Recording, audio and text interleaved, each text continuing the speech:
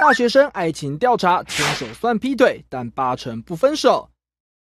东吴大学社会系今年初针对大台北地区二十一所公私立大学一千两百名大学生进行爱情经验问卷调查，昨天公布统计结果，有超过六成四的大学生谈过恋爱，曾经在大学期间交过二点六五个情人，与三成二认为伴侣和第三者牵手就算劈腿，而以此标准，有超过两成大学生坦诚自己曾劈腿。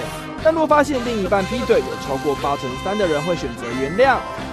至于现在大学生寻找结婚对象的择偶条件，虽然以个性和价值观相同为主，但男性多半属于外貌协会成员，会以外表考量；但女性步入婚姻则重视寻找长期伴票，以经济为主。